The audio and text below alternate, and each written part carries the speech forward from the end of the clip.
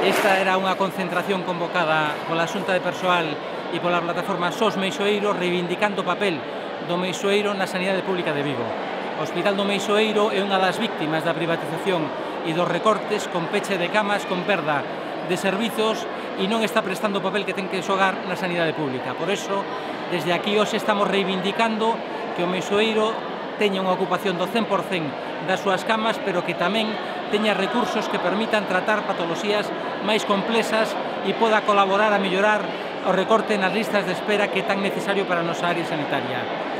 Por eso reivindicamos que este hospital teña unha unidade de cuidados de pacientes críticos que permita atender cirusías máis complexas, pero que tamén permita ingresar pacientes con patoloxías médicas de maior complexidade. E iso permitiría descargar o Hospital Álvaro Cunqueiro e que o Hospital Álvaro Cunqueiro pode xogar o papel do Hospital de Agudos que ten que xogar. Sin estas dúas patas e sin o Hospital Nicolás Peña non é posible que a sanidade pública na atención especializada cumpla co seu papel. E para que isto sexa así, necesitamos mudar os sectores que temos actualmente e necesitamos ter sectores que aposten pola sanidade pública da nosa área sanitaria. Necesitamos recuperar o Álvaro Cunqueiro para a cidadanía, necesitamos que o Álvaro Cunqueiro sexa un hospital 100% público e que reforce o seu papel, que incremente o número de camas, que incremente os servicios asistenciais que ten e necesitamos que o hospital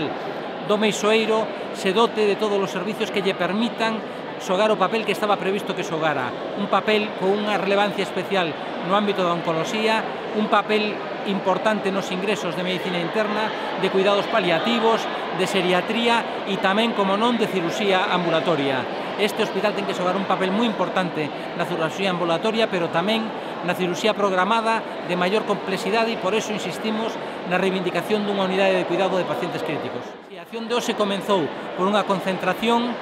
na que convidamos tamén a participar a cidadanía e agora se continúa con un peche. Nos vamos a quedar pechados na entrada do Hospital do Meixoeiro, vamos a quedarnos pechados para manter a atención da cidadanía. Queremos que a cidadanía tome conciencia da importancia que ten que xogar o papel do Hospital do Meixoeiro para dar solución aos problemas que realmente temos, os problemas existenciais da nosa área sanitaria. Vamos a quedarnos aquí pechados tanto da Xunta de Persoal como da plataforma SOS Meixoeiro e convidamos a cidadanía que queira acompañarnos a que este presente neste peche.